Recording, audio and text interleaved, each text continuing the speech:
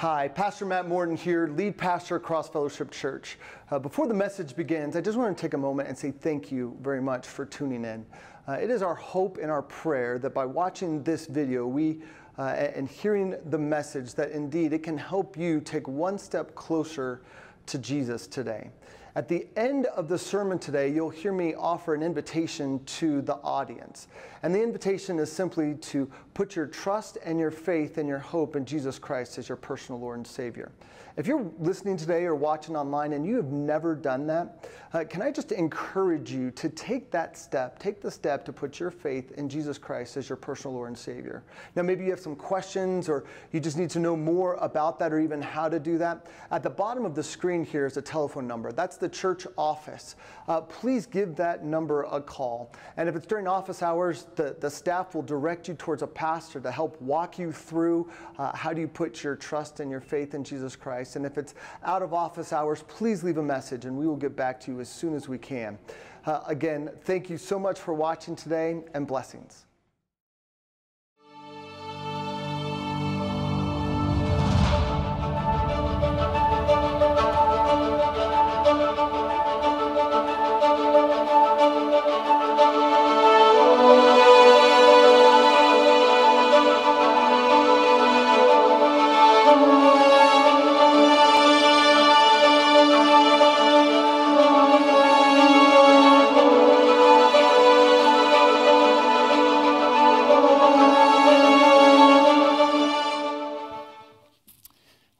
Good morning, everyone.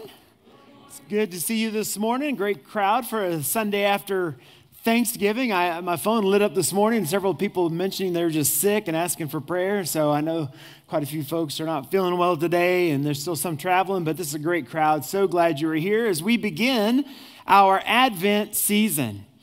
The anticipation of the, the coming of Jesus at his at his birth. And man, have we worshiped already this morning or what? I mean, just recognizing who he is the King of Kings and the Lord of Lords. I'm excited about our, our series as we journey through Matthew. If you've not already done so, I hope you brought your journal back with you. Um, some of you maybe weren't here last week, and I'm going to provide an opportunity for you to grab a journal if you don't have one. If uh, you don't have one of these yet, we're gonna we've given these out and uh, basically, throughout the course of our study through Matthew, it's a scripture journal. On one side, it has the scripture. On the other side, it has a place for you to take notes. And so we want everybody, guests and everybody, to have one of these. And uh, so, Herb, if you could see if everybody makes sure have, has one of those, it'd be great. Raise your hand if you need one, and uh, Herb will get you one. But guests, everybody, we want you to have one and want you to follow along. We're not going to be reading a, there's a couple over here.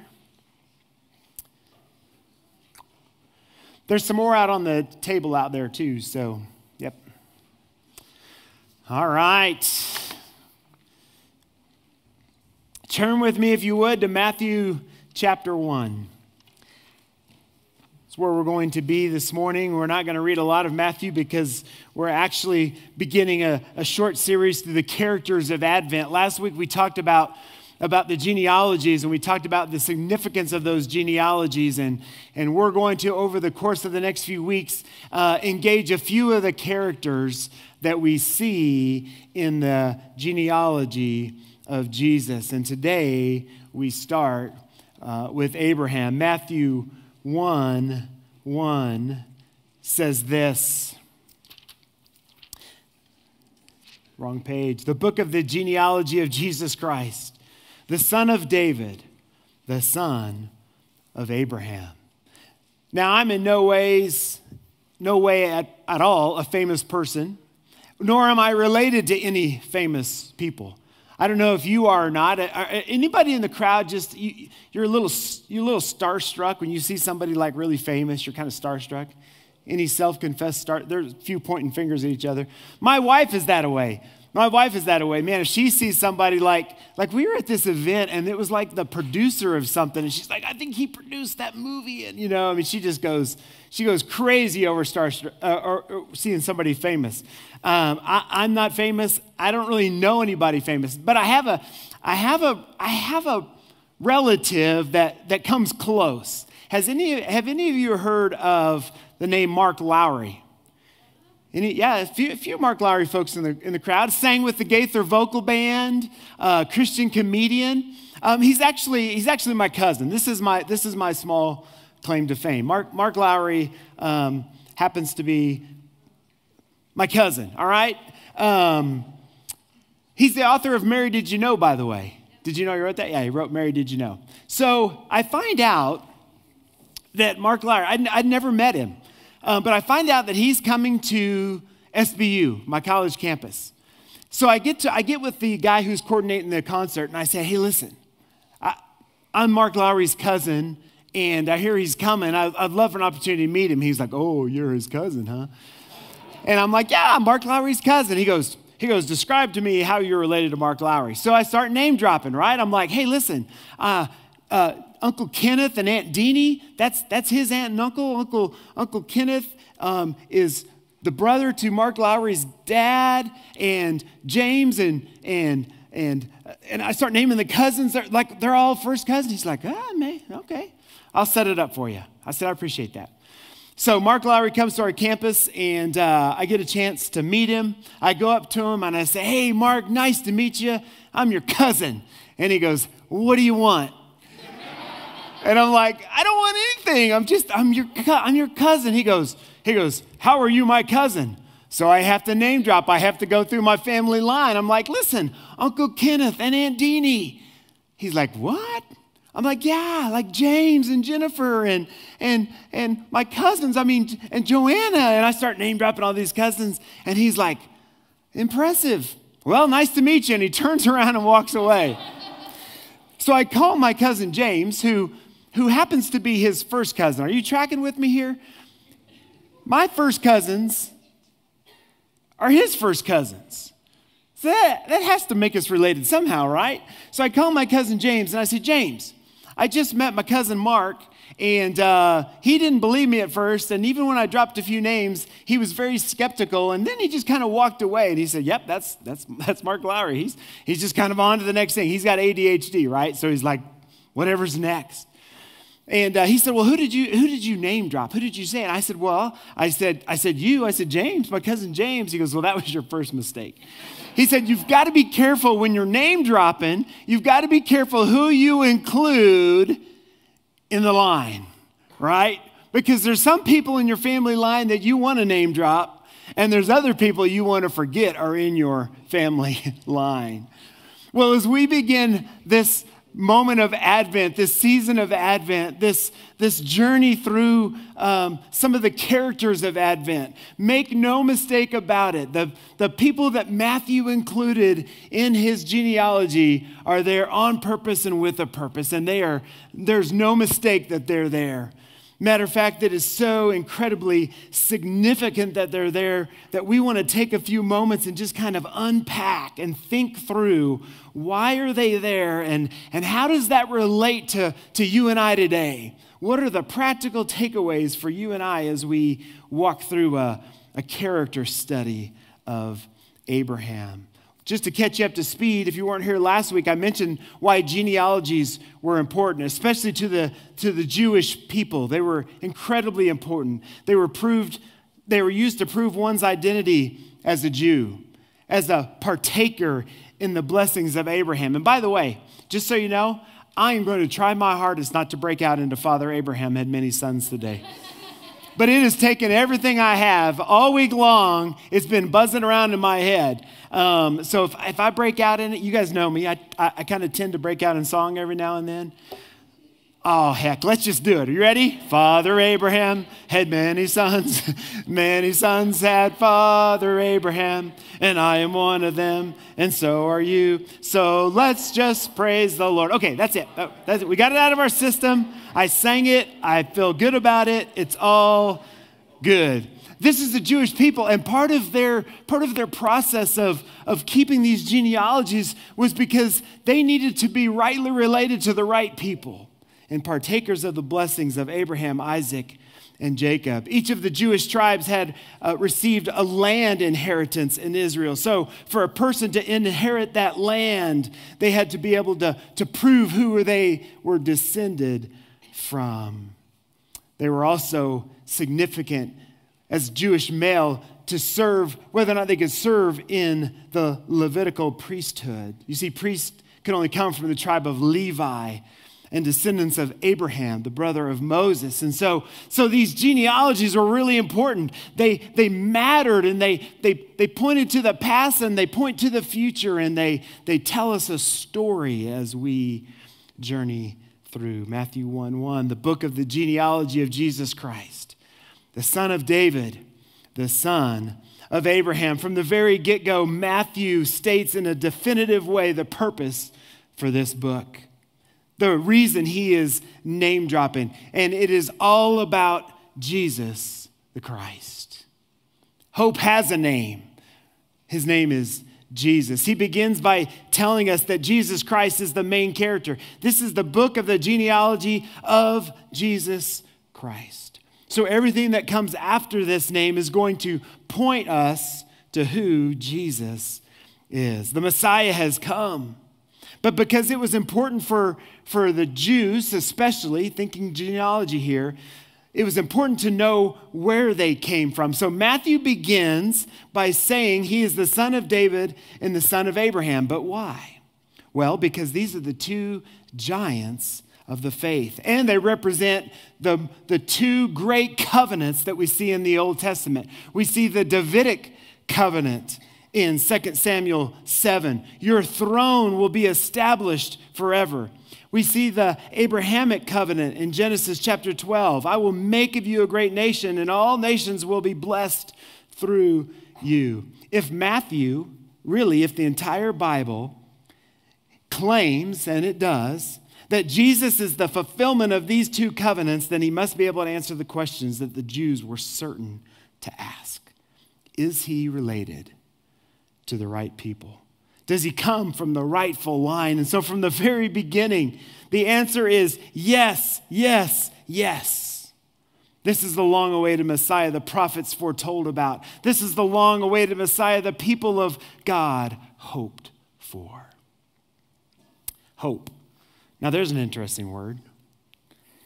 It's the first Sunday of Advent, and it's the Sunday of, of hope.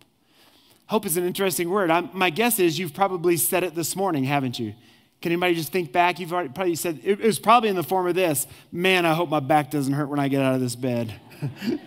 Man, I hope there's no snow on the ground. Man, I hope this, this cloud that socked Colorado Springs in lifts up. Uh, man, I hope Bill has something interesting to say today. Man, I hope he preaches shorter than he usually does. Man, I hope there's donuts. Hope is a very interesting word, is it? It's kind of like the word love we just kind of throw it out in everything. We love pizza and we love Jesus all in the same breath, right? Hope is a little bit like that.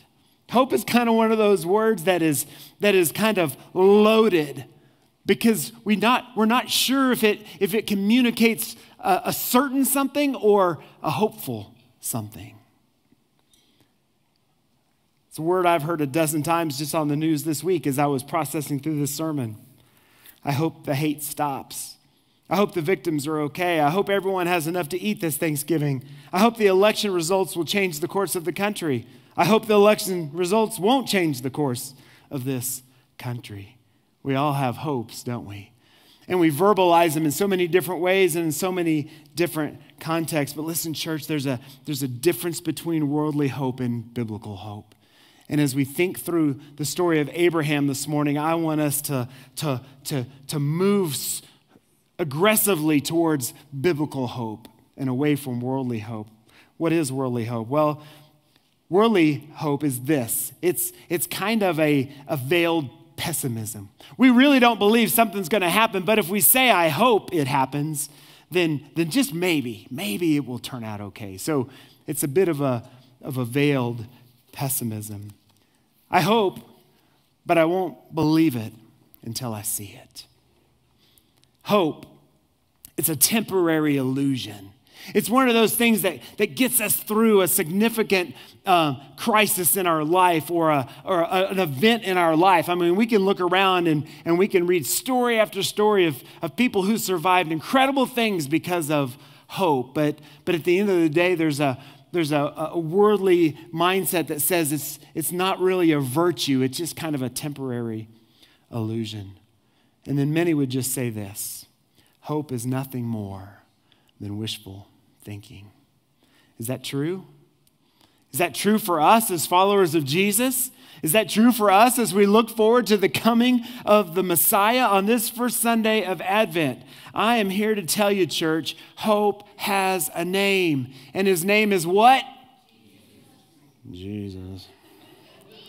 Yeah, hope has a name. And his name is what? Jesus. Jesus.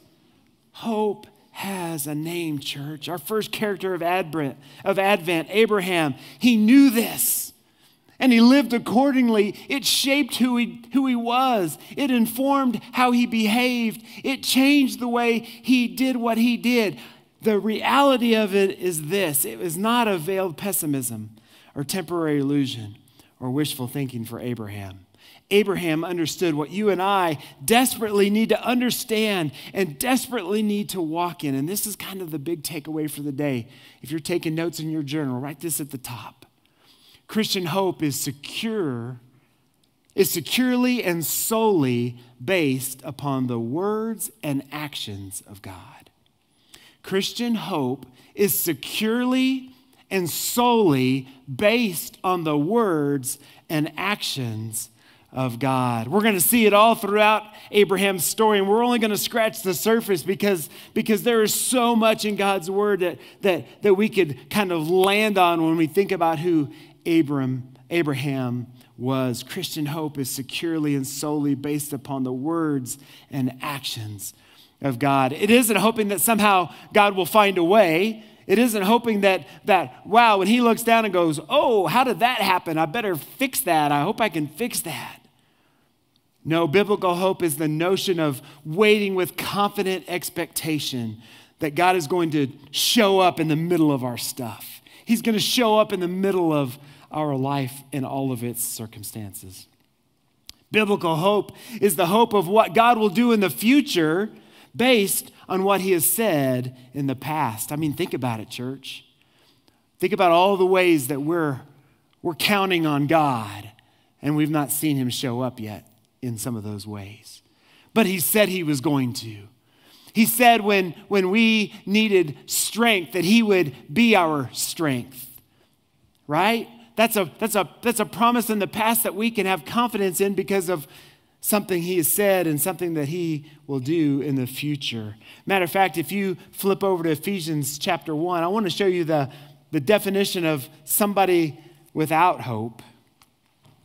Paul gives it to us in Ephesians chapter, I'm sorry, Ephesians chapter 2, verse 12. He says, Remember that you were at that time separated from Christ, alienated from the commonwealth of Israel, and strangers to the covenants of promise, referring back to these covenants. Why? Having no hope without God in the world. Those with no hope are defined as people without God in the world. But Abraham hoped. And in Abraham, we get to, to kind of see kind of through two lenses. We get to kind of read um, from, from the past forward, right? We get to kind of see it unfold. We get to read one chapter at a time, and, and we see God say this to Abraham, and Abraham obey, and we get to kind of watch it unfold. So we get to look at it through the lens of the past, but we also get to look at it through the lens of, I mean, the lens of the future, but we also get to look at it from the lens of the past, right? Because we see this icon of the faith. We see this, this, this man who, who simply believed who God was. His hope was securely and solely based on the words and actions of God. So turn with me, if you would, to Genesis chapter 11. We're going to spend a bulk of our time walking through several chapters of Genesis. You can keep your finger in Matthew chapter 1 or, or, or whatever you need to do, but I want, us to, I want us to think about a couple things this morning as we are challenged and encouraged to, to, to put our hope in Christ.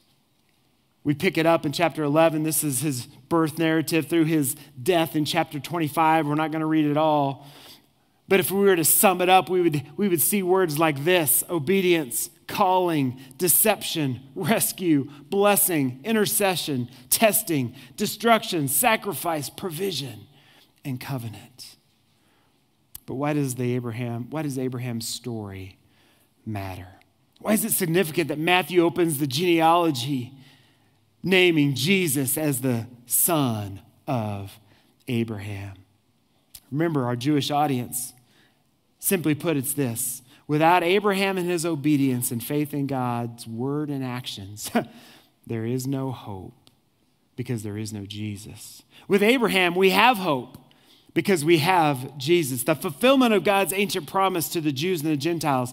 Jesus, the Messiah, the son of the true Jew, Abraham. So, what do we learn from Abraham? Let me give you a couple things just to kind of hold on to as you begin this season of Advent and as we, as the people of God, remind ourselves of why we are different than those who are in the world without God. The first is this Abraham believed God. Abraham believed God. What can we learn regarding hope from Abraham? What are some of the applications for us today? We need to understand that Abraham believed God. Stay there in Genesis. You don't have to turn to Romans. I want to read a, passage out of Romans. And this is, this is one of those looking back moments. And then I want us to pick back up in Genesis, but Romans 4 13 through 22.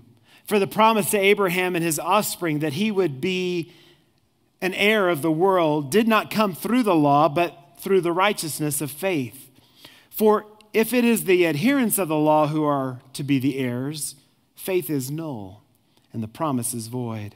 For the law brings wrath, but where there is no law, there is no transgression. That is why it depends on faith, in order that the promise may rest on grace and be guaranteed to all his offspring not only to the adherent of the law, but also the one who shares the faith of Abraham, who is the father of us all. And if we were going to sing, what would we sing? Father Abraham, right? We're not going to. We're not going to. He is the father of those who have faith. That is as it is written, verse 17 I have made you the father of many nations. That was the covenant, right? I've made you the father of many nations. God did what he said he was going to do. And I did it in the presence of, of God in whom he believed, who gives life to the dead and calls into existence the things that do not exist. In hope, Abraham believed against hope that he should become the father of many nations, as he had been told. So shall your offspring be. He did not weaken in his faith when it when he considered his own body, which was as good as dead since he was uh, about 100 years old, or when he considered the bareness of Sarah's womb. No, unbelief, no, or no, no unbelief made him waver concerning the promise of God. He did not waver concerning the promise of God, but instead he grew strong in his faith and gave glory to God. Why? Because he was fully convinced, church, that God was able to do what he had promised. Abraham believed God. You don't believe me? Look back at Genesis chapter 12. God spoke, verses 1 through 3. Now the Lord said to Abram, Go from your country, your kindred, your father's house to the land that I will show you. And I will make of you a great nation, and I will bless you, and I will make your name great so that you will be a blessing. I will bless those who bless you, and him who dishonors you I will curse. And you and all the families of the earth shall be blessed. You don't think he believed God? Look at verse 4. So Abraham went. Genesis 13, look at verses 14 through 17.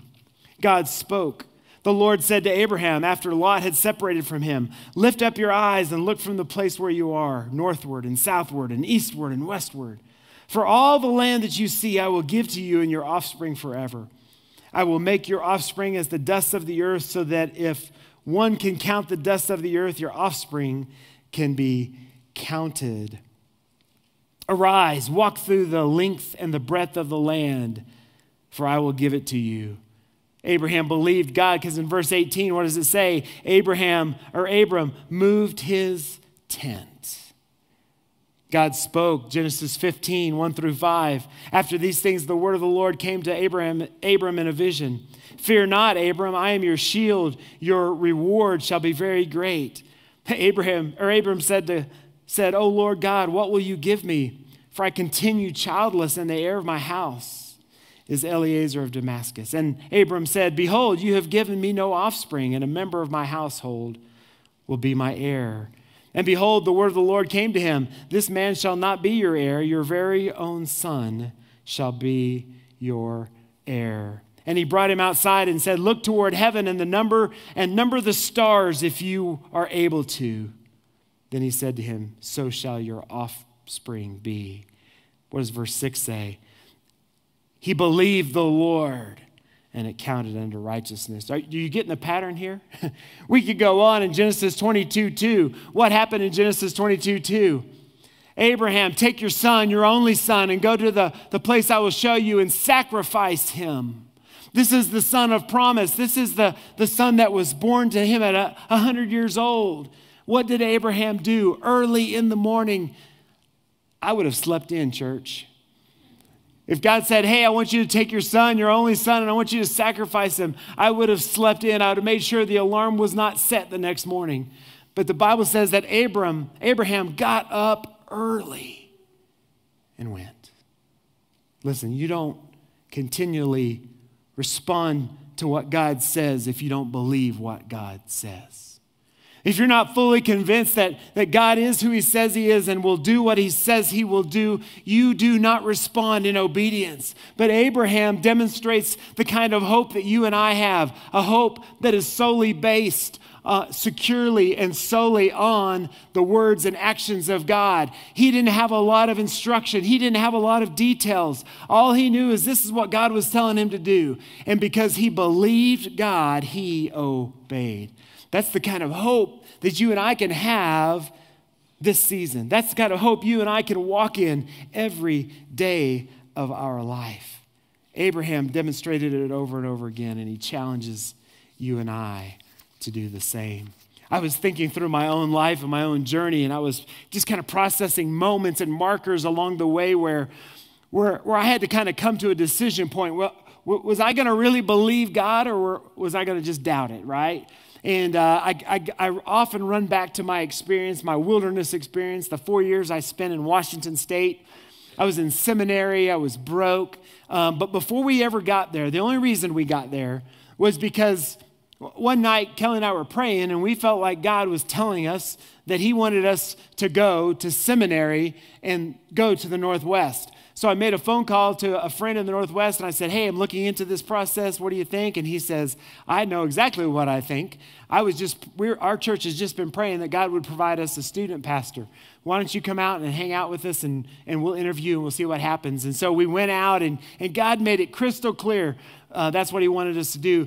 Uh, but the church couldn't really afford it, and there was a lot of questions around it. So they said, Why don't you guys go home and pray? We'll pray, and, and we'll just see how God leads in this. And so one night they call, and Kelly and I are kind of both on the phone. This is back in the day when you had to go like this, so both people could listen to the phone. And, um, and we're, we're both on the phone, and, and the pastor says, Hey, I got some good news and I got some bad news.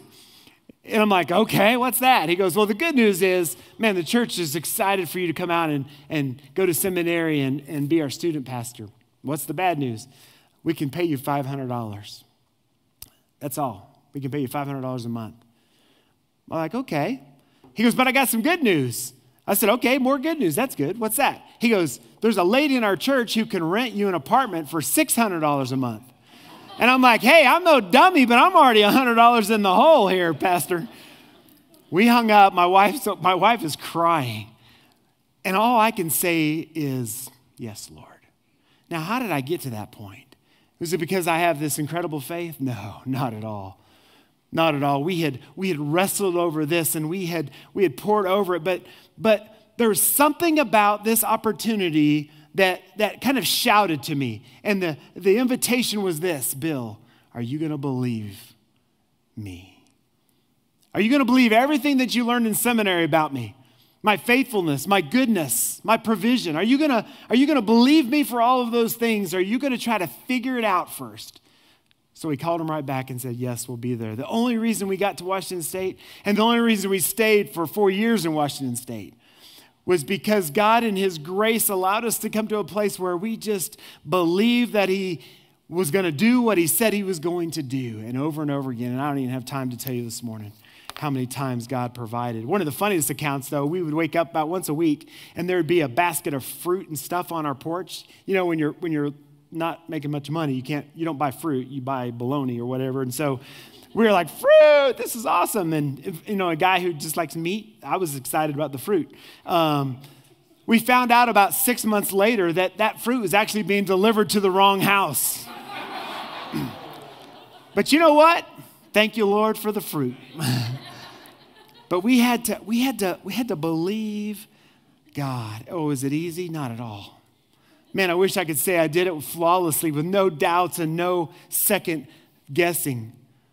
There would be nights I would lay awake in my bed, anxiety just flooding over my soul, and I had to once again say to myself, Bill, are you going to believe God or are you going to lean on your own understanding? And over and over again, his grace was sufficient. We see that in the story of Abraham. Listen, Abraham doesn't respond with obedience because he doesn't have hope in what God's going to say but he responds in obedience because he does. Based on the words and actions of God, let me ask you this today. What are you believing God for? What are you hoping today? What are you hoping for today? Not, not wishful thinking, not, oh, God, if you could get around to it and make it happen, but the kind of hope where you're, where you're all in. Lord, I'm going to take you at your word. I'm going to believe you are who you say you are. Or what do you need to believe God for? Maybe there's something in your life right now that you just need to believe God for it, that He will do faithfully according to what He has said and how He has acted. Because biblical hope is securely and solely based on the words and actions of God. Listen, this kind of hope, the hope that believes God will do exactly what he says he will do, is not easy. And I don't want to paint any kind of rosy picture for you, but, it, but it's easier when we know who we're hoping in, right? It's easier when we know that hope has a name, and his name is what? Jesus. And Jesus has revealed himself to us. And as we journey through Matthew, we're going to see who he is and what he has done. And doing so, our hope will be strengthened and our resolve will be strengthened. Listen, we're going to have to wrestle through the reality of circumstances, especially circumstances that, that seem insurmountable. Like there's no way I can overcome that in my life. There's no way that God can work that out of my life. He doesn't, he doesn't know the bigness of my problem. The, the problem is we don't always remember the bigness of our God, do we? Hope has a name, and his name is Jesus. Listen, if God can provide for Abraham and Sarah, 100 years old. And that's just, that, that's just one thing. we didn't even go through the list of them. If he can provide for Abraham and Sarah, surely he can provide for you and I.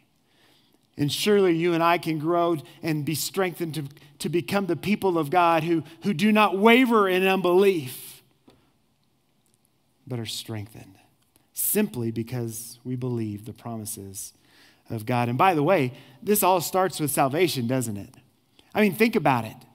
We understand salvation is a, is a, is a past, present, and future reality, don't we? I mean, past, there's, there's a moment of time that we came to faith in Christ and, and, and we received salvation. And then we, we grow and we walk in that salvation. That's the sanctification process. And one day, one day when we take our last breath and we stand face to face, our salvation will be complete. If you don't believe God for this, you didn't believe Him for this. You see, we believe God is able to save, not just now, but for all eternity. So we believe God and take Him at His word. So the very heart of the gospel is at stake. If we don't believe God, we won't experience the salvation of God because that's how we have to come to that place where we understand who He is. Believe God. Christian hope is securely and solely based upon the words and actions of God. Second and last, how do we get there? How do we get there? How do we, how do we, how do we strengthen our, our weak limbs? How do we grow in our faith? How do we develop in the Christian life uh, more so today than we were yesterday, and more so tomorrow than we are today. How do we move towards faith? Well, we see, secondly, in Abraham's life, where his eyes were fixed. And they were fixed on who? Jesus. Why? Because hope had a name. Hope has a name, and his name is Jesus, right? Abraham fixed his eyes on Jesus. Turn with me real quickly to John chapter 8. John chapter 8. Let's read a few verses together and a couple thoughts, and we'll be, we'll be done this morning. Church, be encouraged. Fix your eyes on Jesus. Verse 48, chapter 8. The Jews answered him. Are we not right? Now, this is an interesting moment in the story. Um, Jesus is having a, a, very, very tense conversation uh, with the Jewish leaders. There's, there's going to be a, a lot of uh, things that are kind of leveled, accusations that are kind of leveled in this discussion. And they all kind of center around who Jesus is. By the way, this is another reason genealogy is important because if, if you don't know who you are or, or from where you came, you will not be able to stand your ground, especially in light of the enemy's accusations. The Jews answered him, Are we not right in saying that you're a Samaritan and have a demon? They just said Jesus had a demon, by the way. Would not recommend it. Jesus answered, I do not have a demon, but I honor my Father, and you dishonor me. Yet I do not seek my own glory. There is one who seeks it, and he is the judge. Truly, truly, I say to you, if anyone keeps my word, he will never see death. The Jews said to him, Now we know that you have a demon. Why? Abraham died. You know, the relationship between Jews and Abraham, right? This is their father. This is the, the legacy. This is the lineage. Because we are related to Abraham, we are okay. And Jesus says, No, you're not okay. Verse 52 Jesus said to them, or the Jews said to him, Now we know that you have a demon. Abraham died, as did the prophets. Yet you say, If anyone keeps my word, he will never taste death. And then they ask a really, really, really big question Are you greater than our father Abraham who died? Can you hear the answer? Yes. Yes, I am greater than the, your father Abraham who died. 54, Jesus answered, If I glorify myself, my glory is nothing. It is my Father who glorifies me, of whom you say he is our God. But you have not known him. I know him. If I were to say that I do not know him, I would be a liar like you. But I do know him, and I keep his word. You see, your father Abraham rejoiced that he would see my day, Jesus' day the coming of the Messiah, the one the prophets foretold, the people of God hoped for. Abraham rejoiced that he would see my day. He saw it and was glad. Oh, church, I wish we had more time to unpack this. There are so many things that we need to, to understand, but let me just give you two things to kind of to help put this in context because we're like, maybe you're like, what is he talking about? What is, what is he talking about? Abraham rejoiced to see my day. And he saw it. Well, there's a, there's a prophetic level and an experience level. We need to understand that in light of the prophecy, there's been a, a spirit of prophecy that was given to Abraham. And in the spirit of prophecy, he learned that the Son of God would be among men. Galatians 6 refers to it.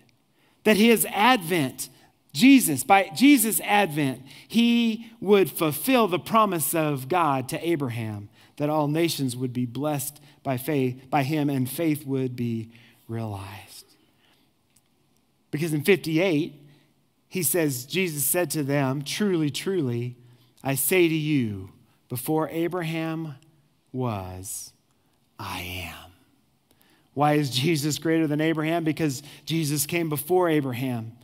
He claims he is the only begotten Son of the Father, fulfilling the promise fulfilling the, the, the heart of God for the, the people of God and bringing salvation to men.